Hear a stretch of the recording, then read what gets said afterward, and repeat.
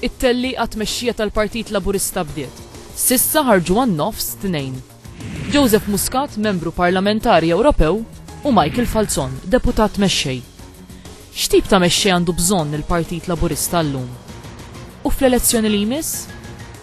Bondi Plus janalizza, nhar it-Tnejn wara l-aħbarijiet.